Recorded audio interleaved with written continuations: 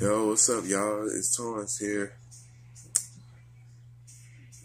Oh man, we actually got somebody this off season. Uh, for everybody that don't know, I'm probably the biggest Chicago Bulls fan in the world, and we have just signed uh, Jabari Parker to a two-year deal worth forty million dollars. I like this move. I really do. Um, I was actually waiting on him to come back to Chicago. But, uh, you know, Kris Dunn at the point, um, Zach LaVine at the two, Parker at the three, Markkanen in the four, and uh, maybe Wendell Carter uh, Jr. at the center.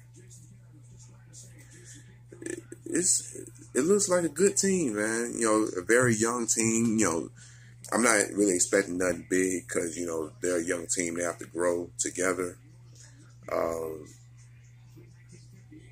but yeah, I mean, I think that they can do well, especially with the monster of the East is now on the West now, that being LeBron James.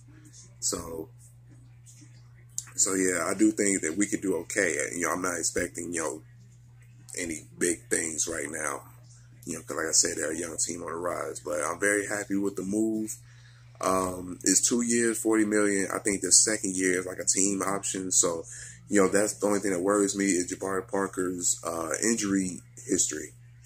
And um, if it doesn't work out, they can just let him go his second year if that's what they choose to do. But Jabari Parker, you know, he fits in well with this young group. He's only, what, 23? 23 years old? So, yeah, um, I like this. I like this lineup. You know, Kris Dunn, he's going to be improved. Um, Zach LaVine came back last year, and I'm pretty sure he's healthy now. He's been working this this whole uh, off season. Jabari Parker the same. You know, he came back last year towards the playoffs. He's doing really good. Lauri Markkanen, he's killing it, like uh, in Euro ball or something like that. And Wendell Carter Jr., he's pretty good in the summer league for the Bulls as well. So it's a team on a rise. So I really like it. Uh, make sure you like, comment, subscribe.